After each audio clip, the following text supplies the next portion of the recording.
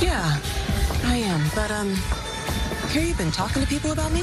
Oh, only good things. I appreciate that, but you don't need to do that. I can advocate for myself. And I wouldn't want it to look suspect when I name you as captain. Uh, wait, you, what? Congratulations, Herrera.